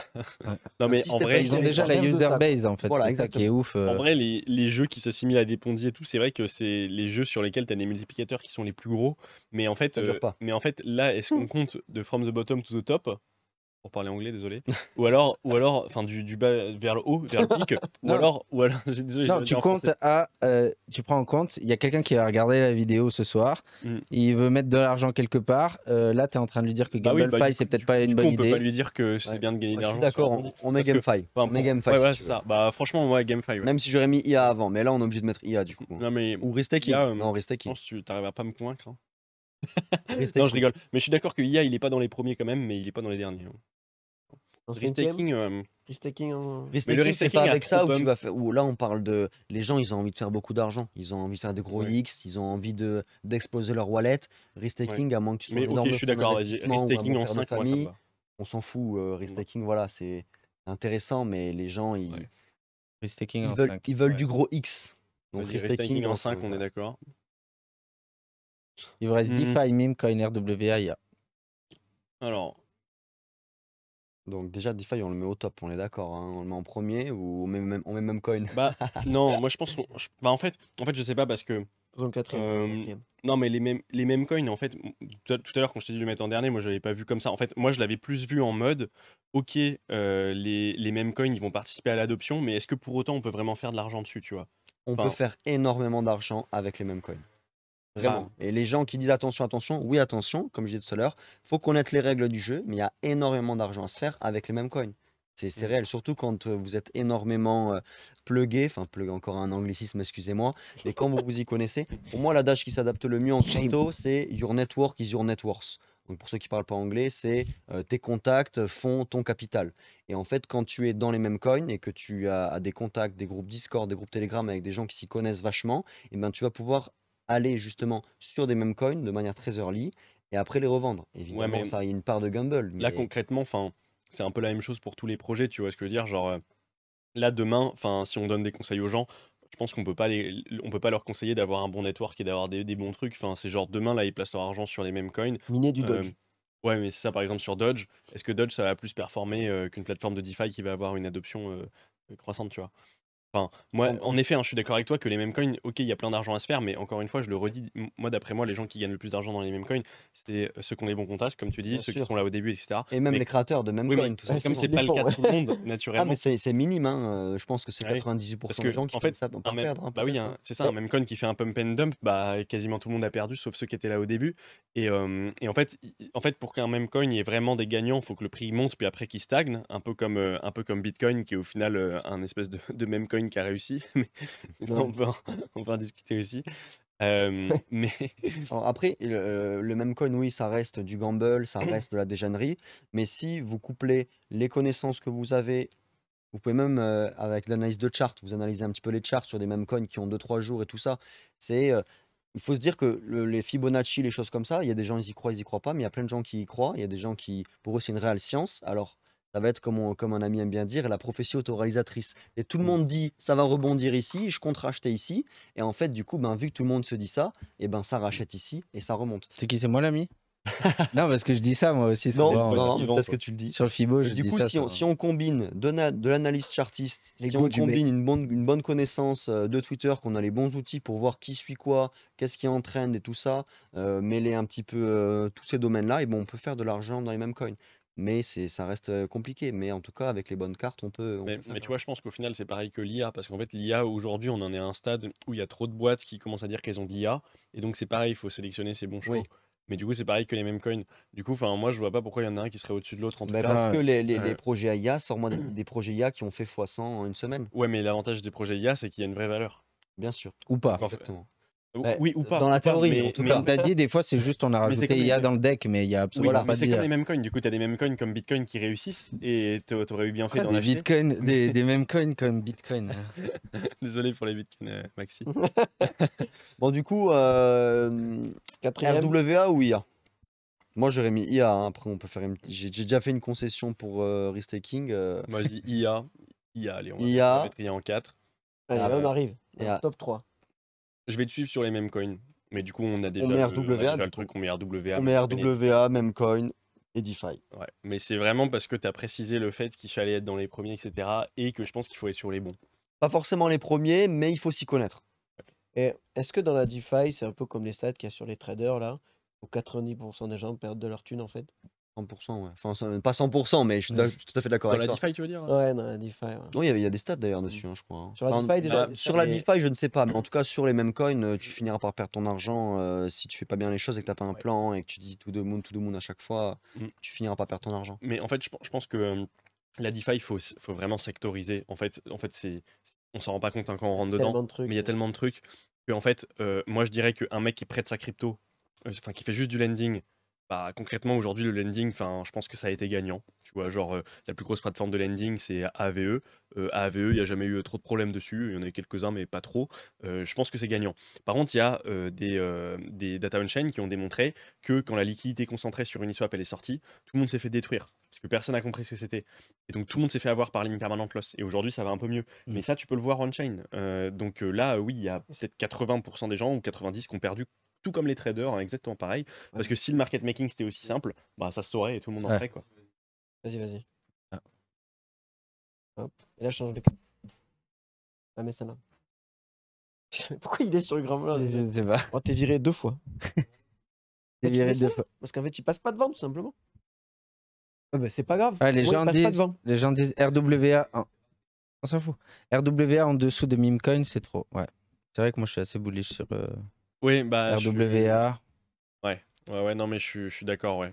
Euh, Moi, je m'en branle, quoi. Mais en fait, en fait, la RWA aussi, on peut, on peut aussi se poser la question si c'est pas un petit peu tôt encore. Mais en fait, Ah ouais qui dit un petit peu tôt, c'est euh, justement euh, ça, ça, ça a du potentiel, beaucoup, beaucoup, beaucoup. Enfin, on le sait euh, sur plein de trucs.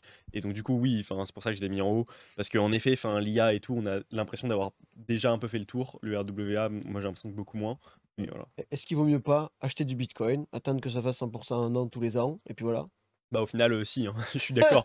non mais moi je dis, euh, bon désolé, hein, tout à l'heure j'ai comparé le Bitcoin avec un shitcoin, je m'excuse vraiment vraiment, mais euh, en fait je suis 100% d'accord que euh, voilà ça a été démontré que tu détiens ton Bitcoin, t'attends, en fait t'as plus de chances de gagner parce que les petits projets ils attirent la liquidité et en fait euh, souvent ils créent un token plutôt pour se financer euh, eux, ça dépend, hein, mais Ouais, ouais. tu peux gagner, enfin tu- voilà, tu gagnes beau. En fait, en finance, quand il y a un petit market cap, il y a un plus gros rendement en général. Donc en fait, tu as moins de chances de gagner, mais si tu gagnes, tu gagnes beaucoup plus gros. Ouais. Mais du coup, ça a été démontré qu'en fait, euh, juste ne, ne prendre, prendre le plus gros en fait d'un secteur et attendre, ça, ça marche mieux. C'est pour ça que le CAC 40 existe, hein, c'est parce que tu as des, t'as des boîtes qui se cassent la gueule, elles sortent du CAC 40, t'en as qui rentrent et rentrent dans le CAC 40, et au final, ça suit euh, la, la productivité et la croissance des plus grosses boîtes. Donc en fait, ouais, je suis 100% d'accord avec ça. Est-ce qu'il y a du renouveau un peu dans la DeFi ou c'est toujours les mêmes choses depuis 10 ans euh? Non, je pense qu'il y a. Alors, bah, déjà, ça existe depuis 4-5 ans, Ouais. max. non, mais euh, il y a du renouveau, je pense. Euh, mais quand on digue pas dans le truc, on voit pas forcément les, les renouveaux. Mais par exemple, je, je m'explique. euh, J'aime bien expliquer les, les, euh, les- ben, l'évolution d'Uniswap que peut-être vous connaissez. Aujourd'hui, euh, Uniswap, on en est à la V4, ouais, enfin bientôt à la V4. Euh, et il y a déjà des euh, POC euh, quasiment de, ce que pourrait être la V5, ou en tout cas, il y a des protocoles qui peuvent être perçus comme plus performants. Mais en fait, quand Uniswap a démontré qu'on pouvait échanger de la valeur sans intermédiaire, qui n'était pas le cas avant 2019, parce que quand tu as juste ton wallet, euh, si tu veux échanger avec moi du Bitcoin contre de l'Ethereum sans échangeur centralisé, bah, tu m'envoies ton Bitcoin et après tu dois prier pour que je t'envoie ton Ethereum. Mm. Donc en fait, eux, ils ont créé un outil qui permet d'échanger de la valeur de façon décentralisée. Et après cet outil, il faut améliorer les performances. Donc forcément, si tu dis, ah ouais, les poules de liquidité, ça existe depuis le 10 2019 et aujourd'hui, ça existe aussi, ouais, mais entre la V1 et la V2, échanger sur une seule poule au lieu de deux, parce qu'avant il y avait que des poules avec Ethereum et un autre, et entre la V2 et la V3, tu échanges en liquidité concentrée, donc autant te dire que les frais de swap pour les, pour les, échanges, pour les swappers, pour toi qui échanges de la valeur sur la blockchain, ils ont été divisés par je sais pas combien, donc en fait c'est de la performance, et euh, du coup oui, il y a des énormes évolutions et des énormes recherches, mais on, dans certains domaines On de ne la refait pas la roue, quoi. Ouais, On on refait pas la roue, il y a on des évolutions, mais Dans certains domaines, on refait pas la roue, on, on- on avance sur la performance. Et par exemple, il y a quand même des nouveautés sur les protocoles d'options. Euh, bah, ça n'existait pas il y a encore peut-être deux ans. Mais après, on peut dire oui, on s'en fout des options. Bah oui, peut-être que, peut-être que, peut-être que toi, tu t'en fous. Mais en fait, les gens qui, qui font ça sur des options, les mecs dans le monde tradi, ça sert à plein de choses. Bah, en fait, si ça n'existe pas sur la DeFi, euh, à un moment donné, personne n'ira dessus. Et il Mm. faut que ça existe. Et donc, le moment où c'est créé, bah paf, ça c'est ça, c'est une nouveauté. Et après, c'est de la performance de la nouveauté. quoi. Qui... Est-ce qu'il y a une opportunité de mass adoption sur la DeFi ou ça restera toujours euh, entre nous euh, Bah, ça, c'est une bonne question. Moi, j'ai un Moi, avis C'est comme la là-dessus, finance mais, euh, tradie au final. Pour J'en moi, ai- ça va arriver, hein, des Ouais. applications en deux clics Ah. où on va déposer sa liquidité sur des protocoles ou sur un AAVE, Wave, euh, certains aiment bien dire. Pour moi, c'est Ave. Parce que tous les ans, ils font la la rave. Donc, euh, Ah ouais? bah oui. Ouais. Et donc pour moi, ça va arriver. Pour moi, ça va arriver. euh, C'est juste une question de temps. Il faut les, les, bonnes, les bons outils, les bonnes applications. C'est qu'une question de temps. On va en deux clics aller chercher du euh, 10%. Plus que la finance tradie? Je pense qu'il y a des applications qui feront les deux. On voit, il y a de plus en plus d'applications qui permettent en deux clics d'investir justement sur des ETF ou des choses comme ça. Je pense que on attend peut-être une all-in-one, enfin une tout dans une seule application quoi. Mm. Tout est possible dans une seule Une application. Je pense que ça va arriver une super app, voilà. Tout à l'heure, tu avais envie de rentrer un peu plus deep là quand je t'ai dit euh, est-ce que les banques, elles ont intérêt Enfin, est-ce que la DeFi, c'est l'ennemi oui. des banques? Oui, oui, oui. Euh, non, mais alors, en fait, je vais essayer de relier un peu les deux questions, Ouais. euh, ok, avec euh, la mass adoption et les banques. En fait, moi, je pense que, contrairement à ce qu'on pense vraiment, je pense que la DeFi, pour avoir du bon rendement, restera un truc de connaisseur. Et en fait, en réalité, tu auras probablement des couches au sein même de la DeFi, comme Lobster, qui vont se créer et qui vont permettre, comme tu dis, d'avoir la, la pile de base élevée pour tout le monde de faire du rendement. Mais peut-être que toi, en tant que connaisseur, tu pourras quand même faire mieux euh, tout Mm. seul, mais moyennant plus de risques, moyennant plein de choses, etc. Donc en fait, ça sera accessible à tous. Donc une mass adoption est possible, euh, mais est-ce qu'elle arrivera? Est-ce que ça restera pas un truc au moins un peu d'initié? C'est possible, ou alors ça sera un combat de gros. Ça sera un combat entre les banques qui, euh, enfin les banques. Quand je dis les banques, je, je parle de, de la finance trad, hein, parce qu'en réalité, c'est pas vraiment les banques qui vont, c'est plutôt les fonds d'invest privés, etc. Mais eux, quand ils vont arriver par exemple sur la blockchain et qu'ils vont euh, être en concurrence finalement avec des particuliers, bah, et c'est déjà un peu le cas, hein, bah, concrètement ce qui se passe c'est qu'ils détruisent les particuliers. Donc ensuite il faut des contre-attaques euh, un peu comme Lobster, où nous en fait on se bat quasiment au même niveau que les banques et, et les, et, et le monde tradi pour proposer finalement ces mêmes rendements à tout le monde. Donc en fait il y a une sorte de confrontation entre les particuliers qui font partie de la mass adoption et qui eux veulent pas se prendre la tête et du coup qui passent par euh, des plateformes comme Lobster. Et après, tu as les banques et tout ça qui, eux, jouent de leur point de, de- bah, pour leur gueule un peu, et ils font leurs propres algos, leurs propres trucs, et voilà quoi. Moi, je le vois un peu comme ça. Donc, euh, une mass adoption, oui, euh, mais ça restera ouvert, et peut-être que tu pourras toujours faire mieux euh, tout seul ou pas. Ça dépend des, des opportunités. Est-ce qu'il y a un effet euh, néfaste où plus il y a de personnes, moins ça va être euh, rentable? Alors ça, non, je pense vraiment pas du tout. Parce qu'en fait, euh, le concept de la finance euh, décentralisée, désolé, j'ai j'ai pris la main là-dessus, mais c'est parce que c'est une question qu'on me pose vraiment souvent euh, sur, sur Observe, sur les niveaux de liquidité, tout ça. En fait, ça dépend juste du niveau de maturité d'un d'un marché. En fait, par exemple, euh, les prêteurs, euh, bah, s'il y a plus de prêteurs, aujourd'hui, s'il y a 10 fois plus de prêteurs pour le même nombre d'emprunteurs, bah oui, ils vont gagner 10 fois moins. Parce qu'en fait, on est sur un marché euh, qui, euh, naturellement, va, va baisser. Il y aura moins de rendement. Sur les poules de liquidité, c'est pareil. Il y a 10 fois plus de liquidité dans les poules, mais le même nombre d'échanges, tu gagnes 10 fois moins. Mais en fait, en réalité, tout ça va croître en même temps. Et globalement, ce qui va se passer, c'est que le marché qui va devenir mature va avoir moins de, hum, volatilité. Donc, moins qui dit moins de volatilité dit moins de rendement, que ce soit pour du prêt-emprunt ou même pour des poules de liquidité, parce que globalement, la, la, la- rentabilité de la poule, elle est aussi liée à la volatilité d'elle-même. Donc, il y aura moins de volatilité, donc moins de rendement et plus de liquidité. Donc, en gros, les gens pourront mettre des plus grosses sommes, c'est pour ça qu'il y aura plus de professionnels, mais les rendements, eux, pourraient être un peu moins élevés, mais pas pour la raison euh, que, que tu avais un peu derrière la tête, qui est qu'on pourrait avoir 10 fois plus de liquidité pour les mêmes demandes. C'est juste pour des raisons vraiment euh, conjoncturelles de marché, je pense que ça C'était pour revenir sur ce que tu avais dit, euh, la vidéo là sur Cake. Euh, t'es t'es venu, c'était à 92%, t'es venu trois semaines après, c'était à, Oui. à 30 Mais- parce mais que ça, mais parce Ouais, que la liquidité. parce qu'il y a eu beaucoup de gens qui sont rentrés dedans Ouais. entre temps quoi. Donc, donc il y aura toujours des opportunités, hein, encore une fois, c'est Ouais. ce que je dis. hein, et tu pourras toujours peut-être faire mieux toi-même qu'en passant par, par une plateforme en surcouche extrême. Mais.